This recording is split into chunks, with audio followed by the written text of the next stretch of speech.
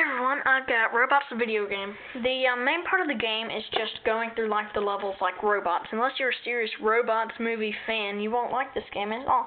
And I don't like it anyway. There's another option, it's called Transit System. You've got this gay little barrel here that's um, trying to avoid other stupid barrels that are like rolling around in this half pipe that you might see at a um, skateboard park.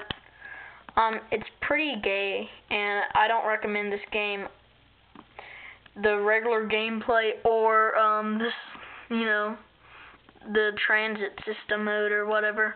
Um to anyone it sucks unless you're just a serious robots fan which I'm not.